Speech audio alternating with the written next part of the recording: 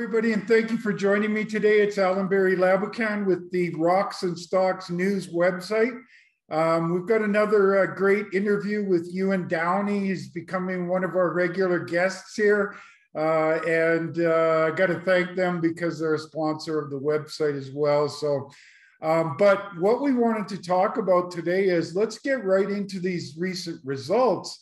Uh, they hit, uh, they announced 17 grams over 3.8 meters, 10 grams over 3.8 meters, 17 grams over 4.2 meters, 25 grams over 5.5 meters, 11 grams over 9.1 meters. This is spectacular stuff that makes underground mines, Ewan. Yeah, no, we're uh, we're on to something. We think we got a tiger by the tail with this zone. It's a it, I wouldn't call it exactly a brand new discovery, but it was uh, drilled more than 20 years ago. There were a few holes drilled to the north of the mine workings on the Granite Creek property by Barrick and Homestake before that. And um, they were never followed up on. So they're, the main work that's been done since then really focused on the area where the underground workings were put in. But when we took over the project, we immediately identified that area and said that you know it, it, these widths and these grades are really good, no follow up. So we started following those up uh, last year, and uh, essentially every single hole we've drilled into that horizon has intersected uh, high grade mineralization so far, and so it's it's looking really good. Uh, the continuity seems to be exceptional, and we're now um, we've added drills. We've increased our drill program by fifty percent mainly owing to the success of this. And um, as I said before we started recording, I'm I'm a little surprised that the market hasn't quite picked up on this as much as I I think I would have expected by now. Well, you know, from my perspective, Ewan in these high grade systems, I'm always looking for continuity and for grade and thickness.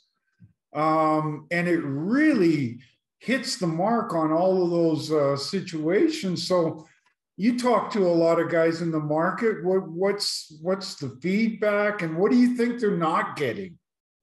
Uh, I think right now it's it's really the you know the gold sector's been under pressure, despite even the days it goes up. It it seems to have we have a really good day in gold price, and then it drops down, and it's the the whole kind of gold sector seems to be in a bit of um, a bit at a bit of a standstill right now. So there's maybe a bit of a, a buyer shock uh, or um, you know the, the buyers just aren't there in, in force. And and so you can see we've we've been noted many times as how much insider buying is going on. So we're we're pretty certain we're on to something good and insiders are are, are noticing and buying stock. And and uh, eventually we expect the market will but you know it, it's looking like this this zone is going to be well over 10 grams per ton average grade as you said, the the widths are, you know, generally true widths are anywhere from two to about seven meters, probably averaging somewhere around four. We've traced it over hundreds of meters strike length,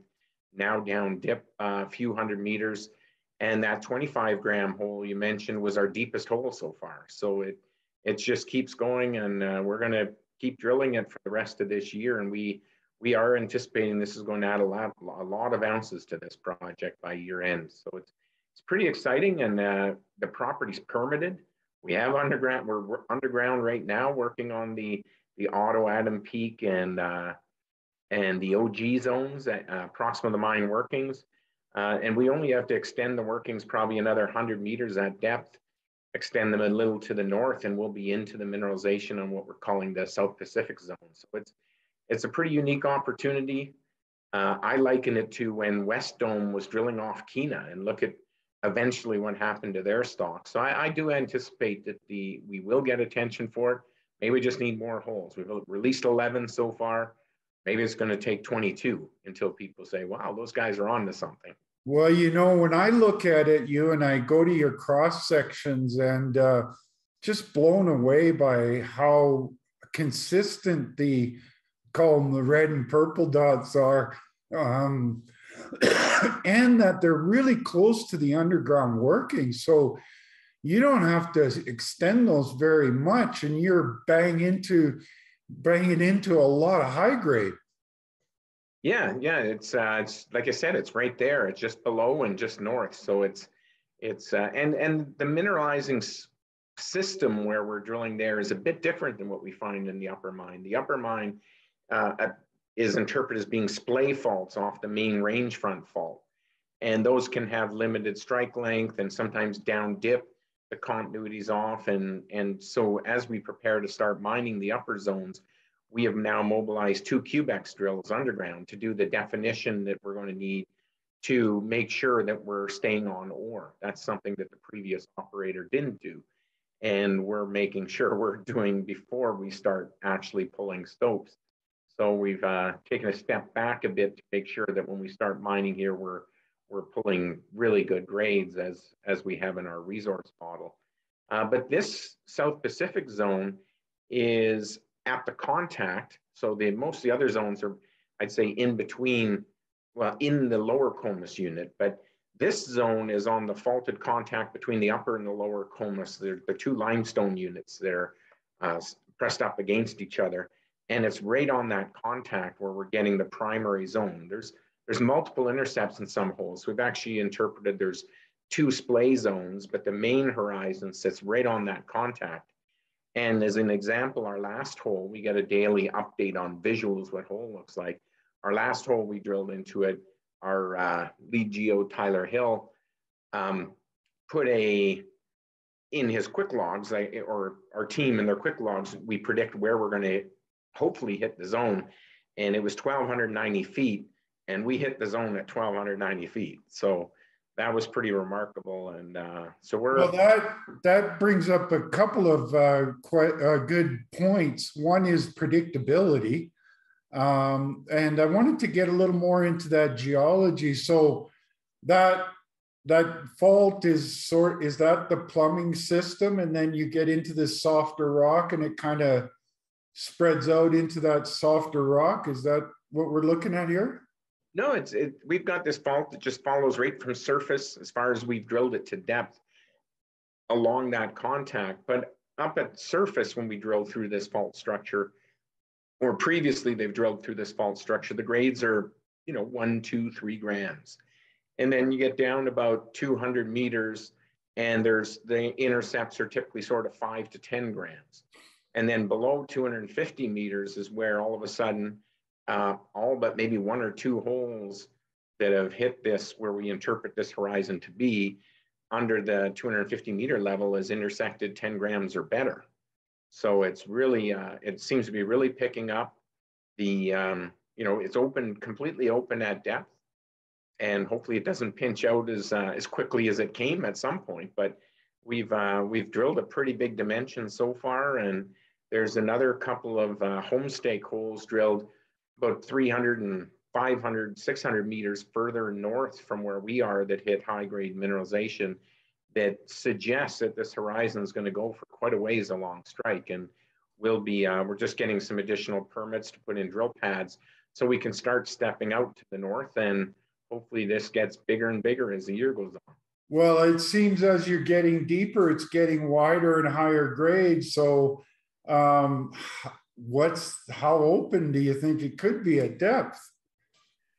I'll use because we're immediately south of the Turquoise Ridge mine, and Turquoise Ridge is one of Nevada Gold Mine's big three. So um, Nevada is uh, Nevada Gold Mines, which is owned by Barrick and Newmont. If it were its own company right now, it would be the third largest producer in the world and all of their production comes in and around our property. So the the number three property that's uh, or the number three of their big three mines is Turquoise Ridge, and it's in the identical geological environment we're drilling. It's along the same major fault to the north. We're on the same. We're both on the east side of the intrusive complex. So if you look at our presentation, you can see Turquoise Ridge is right there, and Turquoise Ridge is between past production or production to date and reserves and resources is a 25 million ounce gold deposit. So we're drilling on the right beside a, a, monster deposit. So, you know, I think sky's the limit at depth. And the real blowout that made Turquoise Ridge, probably 80% of the resource and reserves now, occurred at a depth below 2,000 feet. So at about 2,000 feet, they hit this bigger deposit. And um, so that's still a few hundred meters below where you guys are right now. Yeah, that's uh, that's probably two, 300 meters deeper than we've drilled. And what happened at Turquoise Ridge is the stratigraphy was not vertical, but dipping to the east like we're drilling. And at depth, the stratigraphy flattened out, and that's where Turquoise Ridge was. So conceivably, that could happen here too, and it just hasn't been drilled yet. So that's something in the second half of this year that we're planning on doing a stepping back a bit and testing the system four or 500 meters deeper than we've ever looked before and just seeing if the geology flattens like it does immediately north of us. And if it does, that you know would bode well for how many ounces we should have at the end of the day. Well, we don't have to estimate, but you know, you are in elephant country. You're in the same kind of geological setting. Um, it, it's, I, I think, something you could wave your arms at a little bit there. Yeah, right now we're trying to be a little conservative and say, you know, we're we're hoping to add a million ounces this year would be a, a good target for us. But uh, hopefully, with some bigger step outs during the year, we'll be able to suggest that perhaps it could be a lot more than that. I think our our target is to take the the current resource, the underground resource, is just over 600,000 ounces indicated and inferred, and we've stated that we'd like to grow that beyond a million with this year's program. So I'm feeling feeling really good with this new zone that we're going to achieve that, and um, who knows how much uh, how much we exceed it by is. Well, is so far it's kind of probably is it exceeding your your hopes or is it on in line with your hopes? What do you? I'd say it's in line with what I was hoping for. They, you know, there's I think it was six holes down there. Everyone hit, so I thought, you know, it's a reasonable chance we're going to have a good hit ratio down here. And um, it's not that deep, but like I said, it, it, starts to really pick up about 250 meters below surface. So it's not like a thousand meters down. It's only well, and plus you got all that underground workings there, so it's not like you have to start at surface and work your way down. Yeah, yeah, it's uh, it's it's pretty close. And if you look at our section uh, that went with the press release, you can see that South Pacific zone is right beside the existing workings.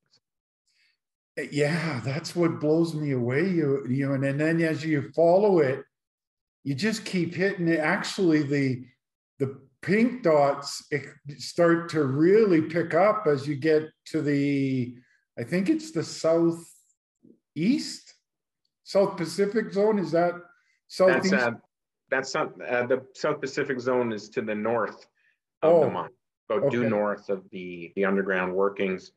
Um, and it's trending sort of northeast. The strike of the zone is seems to be trending northeast. And yeah, and then we have the follow the the purple pink dots on the OG zone and the auto and it just seems to keep continuing right into that South Pacific zone.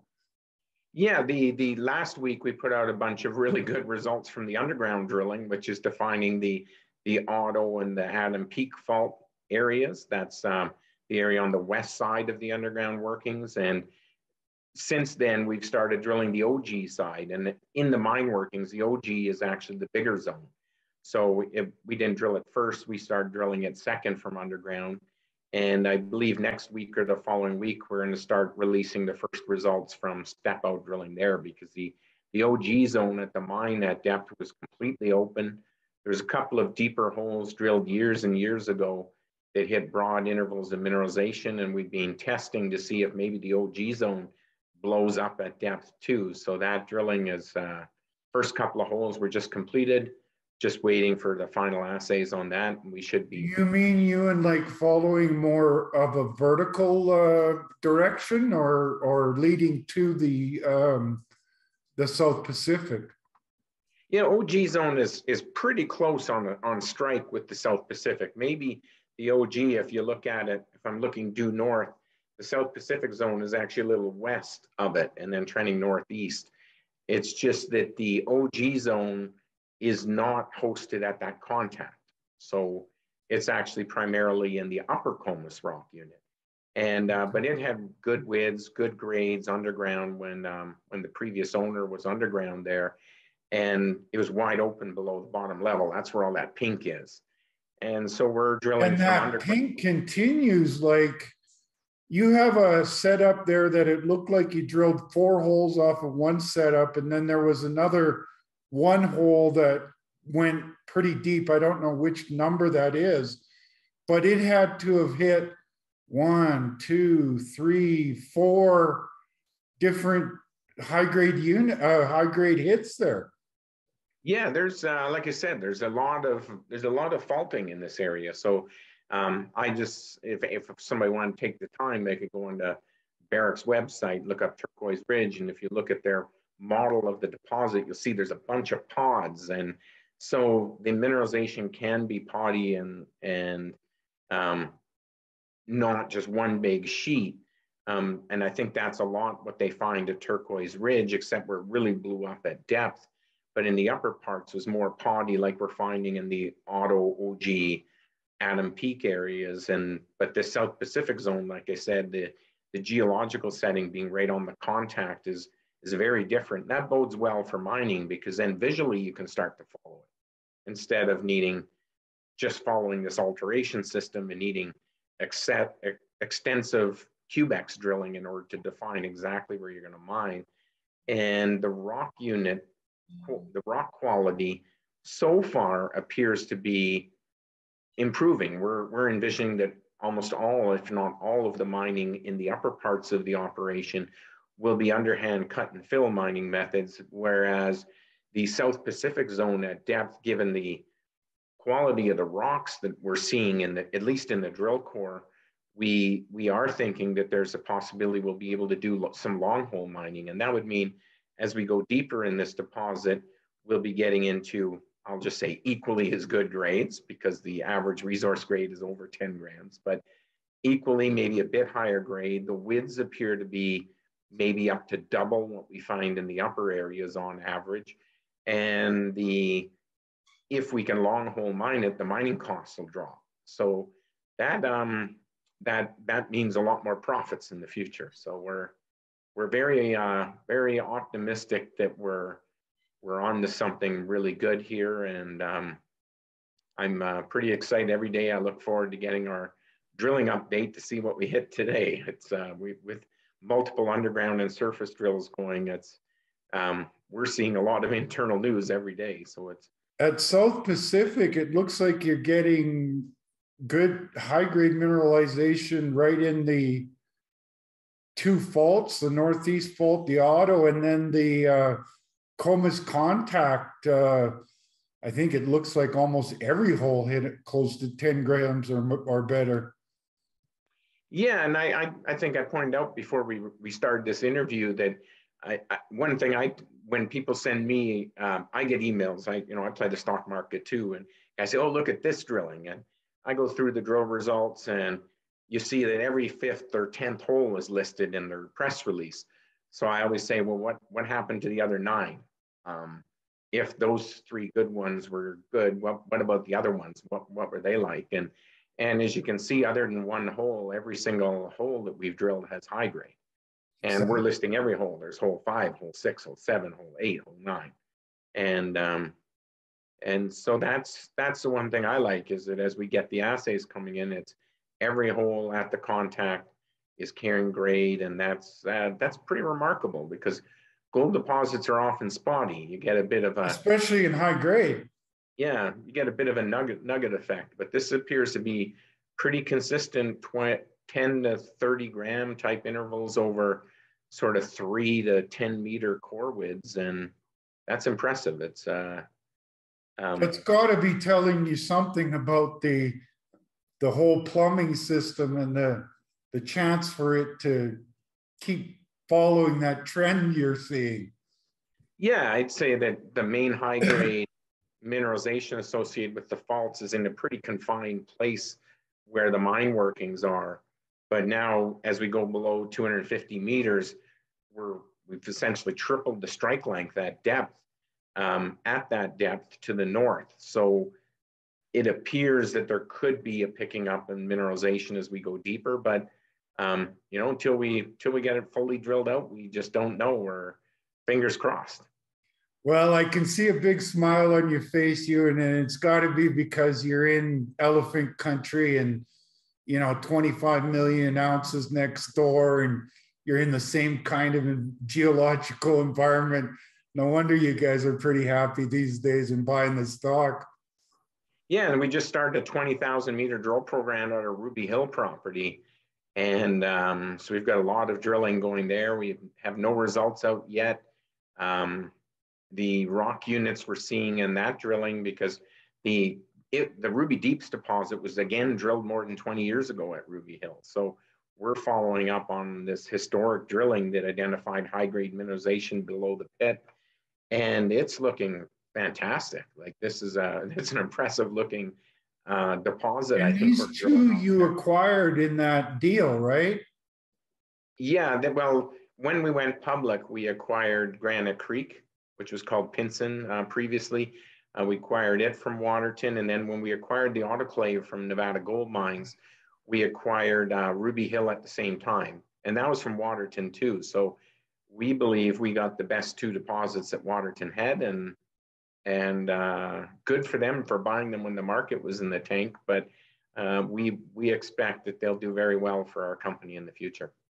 Well, I've often said Ewan you're one of the best, uh, one of the top deal makers in this business.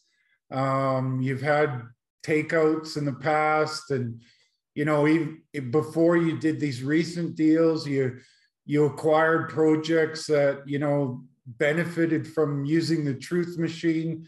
So you're you're following that old school kind of uh, path to success. Uh, we've talked about it before that you know that's what built Barrick yeah, yeah, it's um, you know, Newmont was built in with discoveries in Nevada too. So the big two biggest producers were built there, and you know, I I like to think that probably every big company in the world wants to be in Nevada. It's just it's tough to get in. Um, Nevada Gold Mines owns a lot of the ground, and we own quite a bit now. Um, and most of the mineralization, as you go to depth, becomes refractory. Um, getting permits to build a new process uh, refractory processing facility would probably take years, maybe a decade. So it's kind of a barrier to entry. And we plus were, big costs, right? What what would something like that cost to build today? I think the Lone Tree facility that we acquired from uh, Barrick, or I mean from Nevada Gold Mines, was um, probably if you were to rebuild the site, it has a flotation circuit, it's got an autoclave, it has a heap leach project, uh, all the warehousing, assay lab, tailings pond.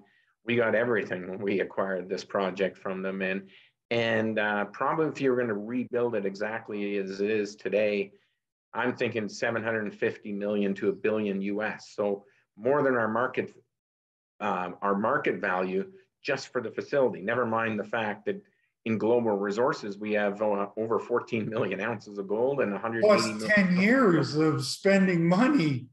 Yeah, uh, yeah. Before you get anything back. Yeah, it's uh, Nevada is a great, great state to work in. Very pro mining. Um, we've been fortunate that the properties we've acquired are either fully permitted or mostly permitted. So we're we're underground at Granite Creek. We've got the fully permitted operational mill facility. Um, Ruby Hill, we just finished mining the open pit and looking to go underground now, so it's permitted. We're going to start the underground development at McCoy Cove in the current quarter because it's permitted. And then the, uh, the, the Brooks and Buffalo Mountain projects that are the open pits we're planning, hopefully to build later this, start building later this year. Brooks is fully permitted and ready to go, and Buffalo Mountain is nearly fully permitted. So we've we're really advanced when it comes to development. You you know that every country is getting tougher and tougher on permitting. So having them in hand is uh, is really invaluable, and that's what a lot of people miss. So Ewan I got a question for you that um, you know you had to do a deal, give up one of your producing that you were a minority interest in, uh, and uh, how do you feel about that deal now?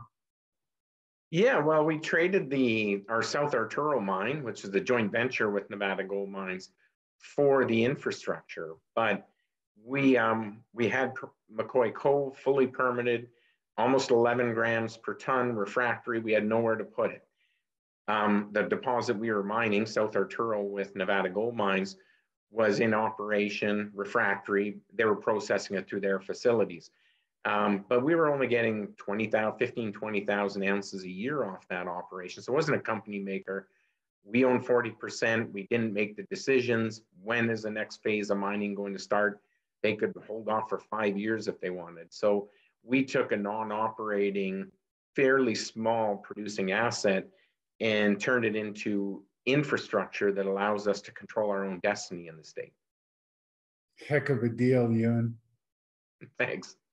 And uh, so let's let's end it on uh, how's the cash position because that's a question everybody should ask.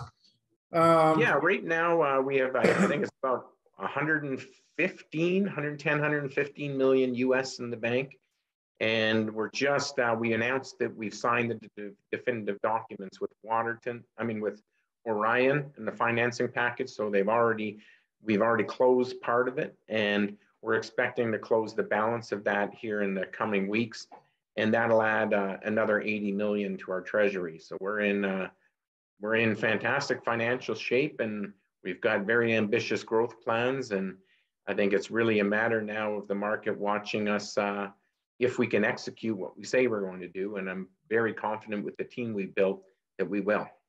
So, are you in a cash position now that sort of handles all of your capex costs to uh, do the the plans that you're working on over the next year or so?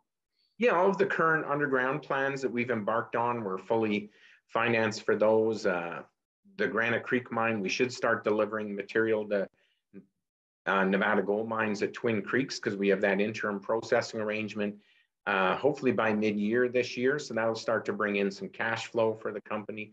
Uh, we do have gold production from both Lone Tree and Ruby Hill, which is a, what a lot of people don't know. So we will get, we will be getting gold every quarter, um, um, pretty much from those two sites, uh, residual leaching that's going on. We get about as much gold as we would have got from South Arturo this year. So we're we're in a, we're in a good position place, and um, we've uh, we've been telling the market we're we're going to build four mines in three years, and now it's just a, uh, I think really the market's looking at it saying, okay, let's see how these guys can execute. So.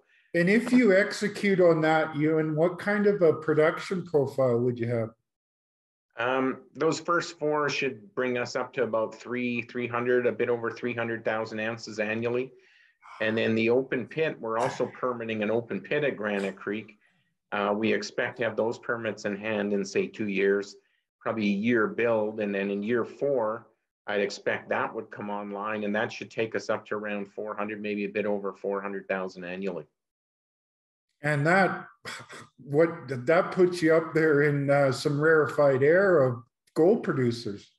Yeah, if you look at the four or 500,000 ounce gold producers, the sort of mid tier, as, as I call them, gold producers, their market caps are in the billions. So we're we're half a billion roughly right now US. So I think there's a lot of uh, upward movements movement for our company. And um, uh, you had me on the show talking about my stock buying, and I've increased my share position since we started trading about eight nine months ago by over um, over 1.4 million shares now. Um, so, so you're over I, a half, 500 million or so, or 5 million or so, aren't you? Yeah, it's uh, definitely my biggest holding in my my personal account. But I, I believe in what we're doing, and I'm very confident in the group we've assembled to to take this company forward. So, um, betting on betting on our team that we're going to be very successful here. Always like to see the companies that eat their own cooking, Ewan. Thank you. Okay, so that's a great note to end it on. I'm going to wrap it up, and if you want to hang around, we can have a little chat at the end. Okay. So there you go, folks. Um, I uh, I have a lot of admiration for you, and I've been watching his career for probably 20 years now. He's he's delivered for me as a stock picker in the past with a couple of takeouts, And uh, now I, I really believe that uh, I-80 is, is his uh, going to be his biggest success. And why I say that is that, you know, I watched in my early career how Barrick grew, American Barrick was, was known then in the 90s, how it grew from a small producer to a now a household name, one of the largest in the world. And uh, that happened in, in Nevada. And same with Newmont. And now uh, I-80 is following that path. And they've got a runway ahead of them that looks like that 300, 400,000 mid tier producers within reach. You can see it in the drill holes, you can see it in the workings, you can see it in the uh, processing facility, you can see it in their cash position. Um, they're well positioned to meet that goal. And um, as Ewan said, all of those companies have valuations in the billions. These guys still have a valuation of uh, around a half a billion. So for those that want less risk in their gold portfolio, but still want a lot of upside potential, I think I-80 Gold is a great company for you to look at. And uh, as always, my shows are for information purposes only. It's important for you to do your homework, speak with your financial advisors. And I really advise you to do that homework because I think if you look at their peers, and some of their peers are not in jurisdictions like Nevada, um, it will become very apparent uh, what Ewan's talking about and what I'm talking about. So, on that note, have a great day and we'll talk to you soon.